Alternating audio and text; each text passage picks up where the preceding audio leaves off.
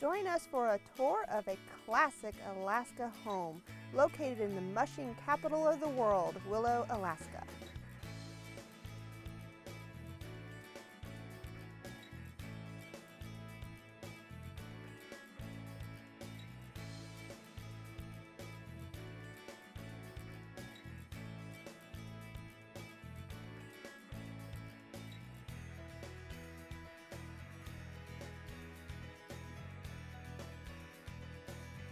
Hi folks, Carl here with Trapline Realty and I've got yet another wonderful home from Willow, Alaska.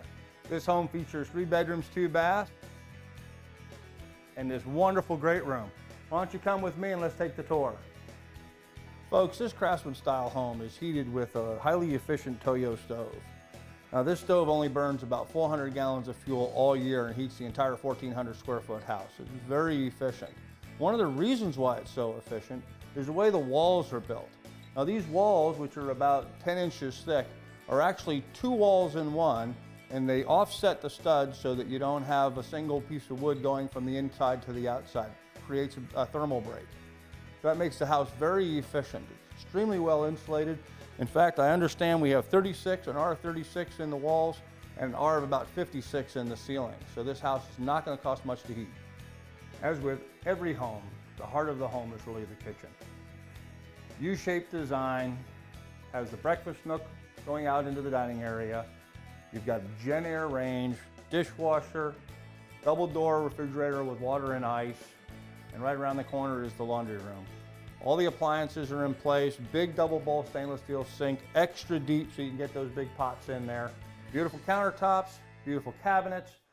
This house just speaks of excellent craftsmanship materials and workmanship and this kitchen is the same as rest of the house. It's just done beautifully.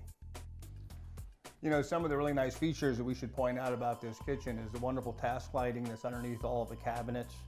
Um, you got this beautiful little breakfast nook over here, room for four guests to sit here. And, and it's really nice because I know in our house, we always have everybody when we entertain in the kitchen.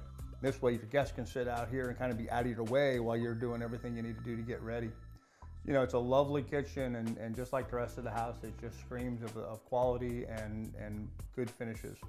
Um, lovely kitchen. Uh, it might point out that the uh, sink has the, not only the, the, two double bowls and the deep sink, but also it's got the, the hose built right into the faucet. So you've got the extra long hose for pulling out cleaning large pots and soap dispenser built right in. Everything's been thought about on this kitchen. It's, it's a nice compact kitchen, but everything's been thought about. It'd be a really good station for, for cooking Thanksgiving or Christmas. Well, now that we've seen the great room and the kitchen, let's go check out the bedrooms. This house features three bedrooms and two baths. Let's start with the first guest bedroom. Well, here's the first of our three bedrooms. This is the first guest bedroom. It's about 130 square feet. I love the color blue, so I love that. And even though this is one of the furthest spots in the house from the Toyo stove, it's really warm and comfortable in here. And that just speaks to how well insulated and well built the house is. Got a nice walk-in closet. It's at the end of the hall. Right on the other side of this wall is the guest bath. So as we complete our tour of the bedrooms, first we had guest bedroom one, we have the guest bath, we have guest bedroom number two, again with a full walk-in closet, Linen closet here in the hallway. Let's go take a look at the master. So here we have the master bedroom. A big walk-in closet. Again, well insulated, warm room, full bathroom, really nice tile work in the bathroom. Why don't you come take a look at this?